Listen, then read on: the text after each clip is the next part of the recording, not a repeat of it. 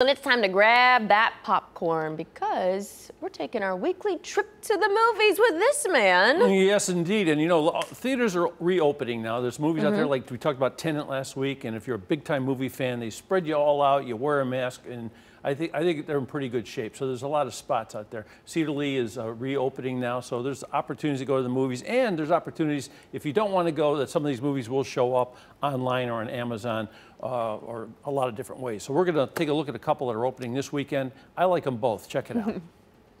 Welcome to the Broken Heart Gallery. Heartbreak is the loneliest feeling in the world, and the truth is, it happens to us all. A fresh perspective on dating and love is exactly what you get with the Broken Hearts Gallery. He's with someone else now. How do you get over someone? What? Why are you getting into my car? What are you doing? Lyft, silver Prius. Adolfo, I have had the worst night of my life. This isn't a Lyft. This is my car. Hello? I'm sorry. No, I'll cancel. You're not Adolfo?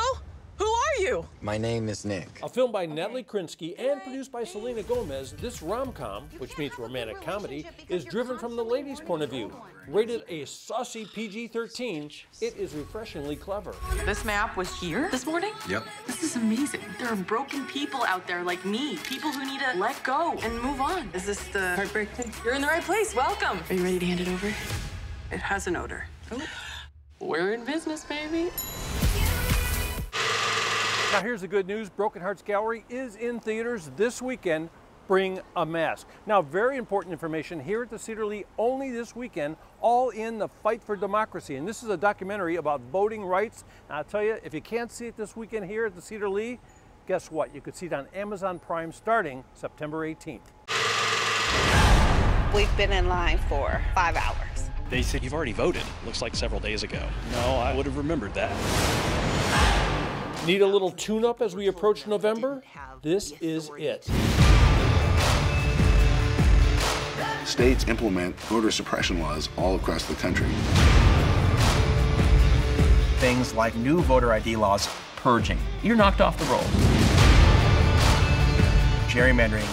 Changing the voting boundaries. Ohio is a use it or lose it state stacked with many of the political stars of today, all in the fight for democracy, is exactly that a powerful look at the right to vote.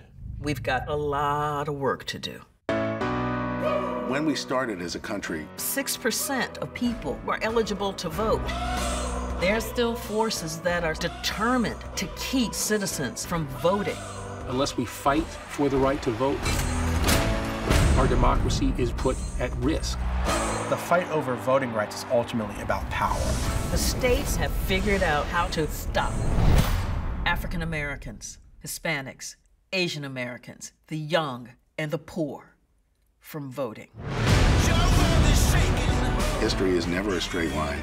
It's always a fight. I will not concede because the erosion of our democracy is not right.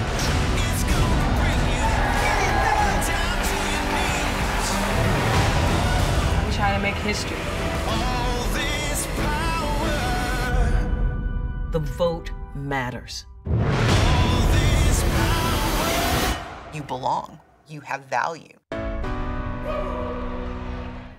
They see Stacey Abrams, she's the one who lost the governorship of, Al, of uh, Georgia by just a few thousand votes. So it sort of instigated this whole thing. I tell you, it's really a fantastic thing to watch. It's amazing.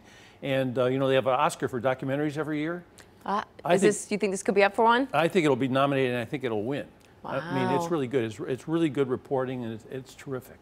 And, and Broken, the Broken Hearts movie. It looks cute too. Yeah, I love Hearts it. Gallery. Something serious, something yeah. more of a documentary style, and then something also that's lighthearted and just to take your mind off of everything going on in the world right now. It's rated PG-13, and there are some moments, if you go with your, your kids and you're watching this movie, you might go, oh, it's like it's, so even though it's PG-13, it might shock you a little bit. It's walking the line, but, okay. but they're both very good. I enjoy both of the movies.